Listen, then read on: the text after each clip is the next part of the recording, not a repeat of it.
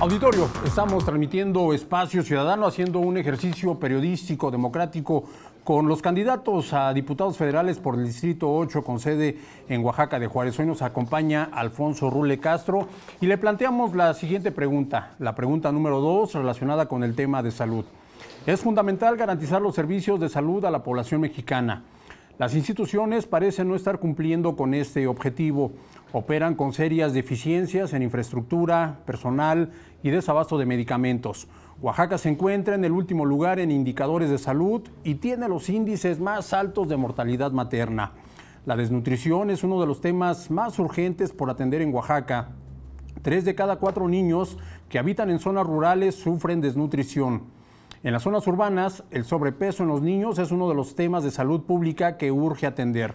Le pregunto al candidato del partido Movimiento Ciudadano, Alfonso Rule Castro, desde, desde, su perspectiva, ¿qué aspectos habría que considerar para lograr cambios de importancia y garantizar los servicios de salud a la población?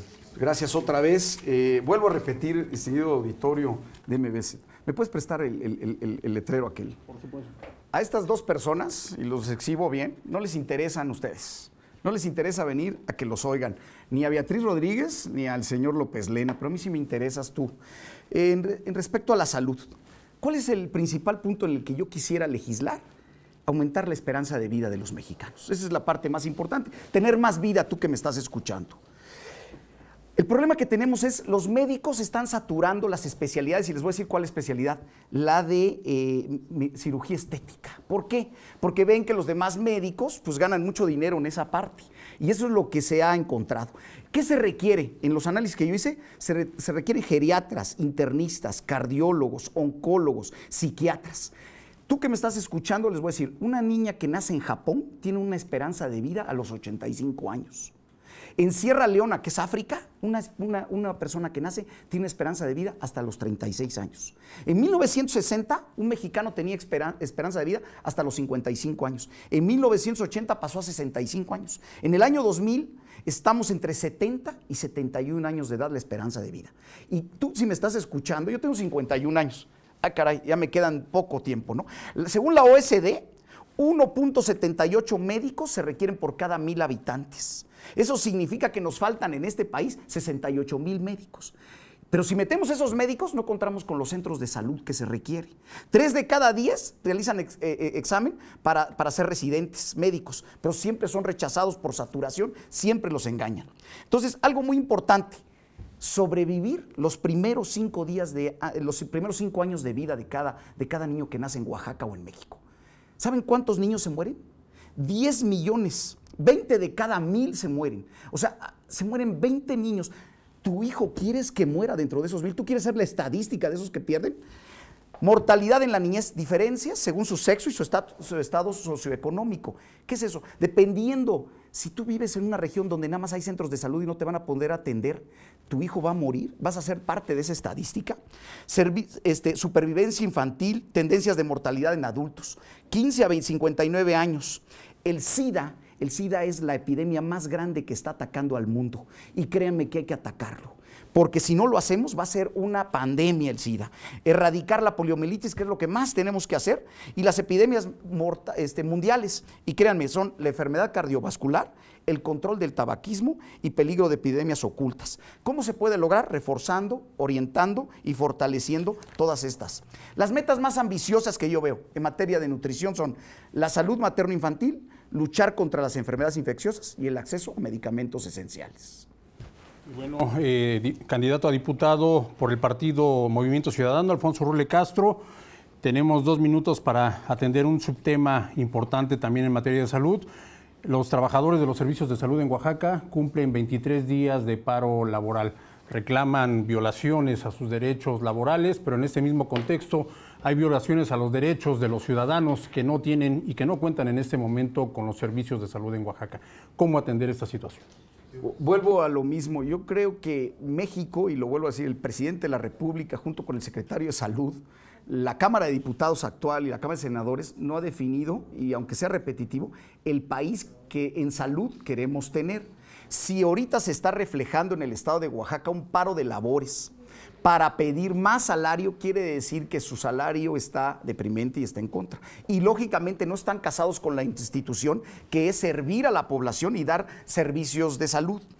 Yo lo único que le digo, la vida más larga y sana es el objetivo de México y bases para los nuevos mexicanos. O sea, ese sería el objetivo de cada una de las personas que está sirviendo. Pero si vamos a los centros de salud y le retrasan su sueldo y no le pagan en un mes y son contados los días y tienen que agremiarse en un sindicato y finalmente es así, créanme que por eso tenemos los problemas. La Secretaría de Salud a nivel nacional no ha definido en qué país nos queremos ubicar en términos de salud. Los mexicanos envejecen y, no, y están envejeciendo muchísimo. En 1990 teníamos en promedio 19 años la población, en el 2010 es 26, para el 2030 vamos a tener 40 años en promedio y ahí se va a equilibrar la, cantidad de niños que están naciendo contra los viejos. ¿Cuál es el futuro? Si tú tienes ahorita 30 años o 40 y me estás escuchando, dentro de 20 o 30 años, ¿a poco crees que te van a dar trabajo toda la vida? ¿A poco crees cuántos asilos conoces en donde tú puedas asistir? Porque ahorita hay mucha gente que está abandonada y que no tiene ese servicio. Entonces, los servicios de salud tienen que ser bien claros, bien objetivos para poderse realizar. Y hay que legislar en esos temas para que México pueda crecer. No se está tomando ahorita en cuenta a este país, a, a la gente adulta porque estamos enfocados en que somos un país joven. No somos un país joven, ya somos un país grande y próximamente va a haber muchísimos viejos. Muchísimas gracias, candidato del Partido Movimiento Ciudadano. Vamos con el siguiente subtema. ¿Cómo resolver los problemas de salud que representan un serio atraso en los municipios, sobre todo en comunidades de alta marginación? Vuelvo a lo mismo. Eh, lógicamente, los centros de salud que están en las poblaciones, en los diferentes municipios de aquí de la entidad en Oaxaca, pues son centros de salud donde ni siquiera hay médico. Eh, es una enfermera de turno, una enfermera de cabecera y los médicos van, imagínense que tienen que venir a ver a su familia y tienen que tomar un camión, un vehículo o un taxi o lo que sea para ir 10 o 12 horas para llegar a ese centro de salud. Y en ese centro de salud ya están pariendo personas en el momento en que llega. Entonces, vuelvo a, eh, vuelvo a repetir, tenemos que eficientar los sistemas. México tiene el recurso, no es dinero el problema. El problema es no, no se ha enfocado qué queremos.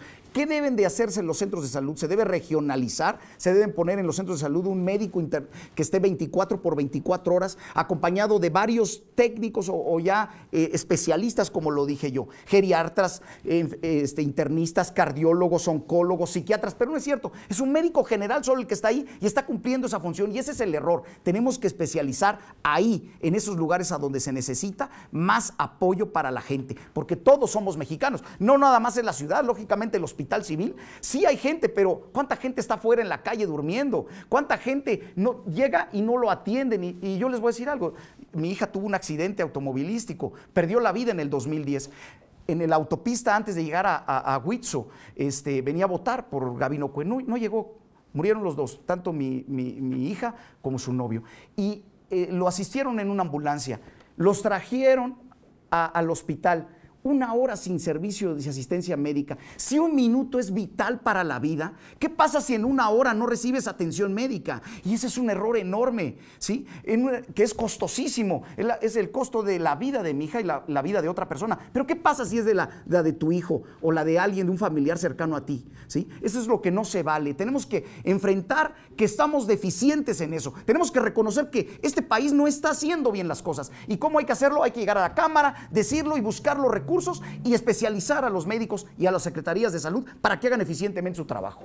Candidato del partido Movimiento Ciudadano, aún nos queda un minuto más para poder concluir en este tema, el tema de salud en Oaxaca. ¿Algo más que en lo que usted desee abundar, profundizar en torno al asunto?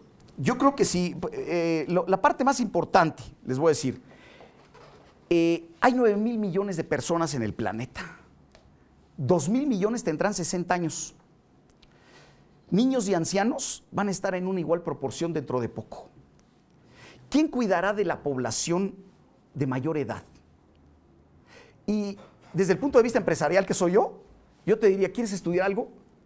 Especialízate en ser un buen enfermero o enfermera. Te voy a decir por qué. Porque va a haber mucha gente que va a necesitar de una enfermera o enfermero y tú vas a poder ganar mucho más dinero que un médico y vas a tener una ganancia garantizada. Y no nomás eso, Aparte de ser enfermera o enfermero especialista, especialízate en hablar idioma, idioma inglés, francés o los idiomas eh, maternos. Si yo como legislador o el gobierno pudiera tener enfermeras que hablan las lenguas madres, pudieran hacerlo, ganarías muchísimo. Auditorio, muchísimas gracias, diputado Alfonso, candidato a, diputado federal por el partido Movimiento Ciudadano, Alfonso Rule Castro. Vamos a hacer una pequeña pausa. Auditorio, estamos transmitiendo a través del canal 143 de cable. Esta es es una edición especial del programa Conoce tus ciudadanos. Hoy estamos platicando y conociendo puntos de vista, propuestas por parte de nuestro invitado del día de hoy en torno a temas indudablemente de impacto nacional.